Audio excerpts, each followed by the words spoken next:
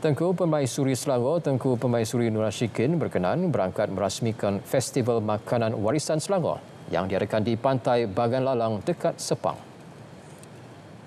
Keberangkatan tiba baginda pada 11 pagi disambut Exko Perumahan dan Kebudayaan Negeri Datuk Burhan Aman Shah dan isteri Menteri Besar Selangor Datin Sri Mastiana Muhammad.